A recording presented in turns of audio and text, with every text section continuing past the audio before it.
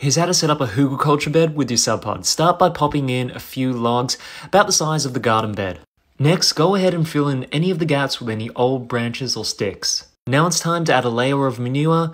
This one here is goat, but you could use cow or chicken. The idea here is to layer the browns and greens together, and we'll do this continuously throughout the video. What comes after manure? Yes, dry browns. We're going to use hay, but you can use paper, cardboard, or any other dry brown material. Now add another layer of green. I'm using fresh lawn clippings, which is high in nitrogen. Go back to your browns. This is a bunch of old leaves that I found under a tree. Now, I highly recommend adding a couple of handfuls of biochar or just crushed charcoal as this is going to accelerate the microbial process tenfold.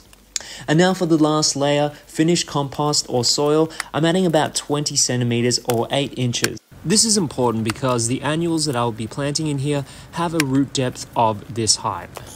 Now, the amazing thing about hugelkulturs is that they have a large reservoir of carbon below. Carbon is the backbone of life, so I expect there to be a huge microbial and worm population over time. Pair this with the subpod, and it's just going to regenerate the soil and plants all around. Would you try this at home? Let me know in the comments below.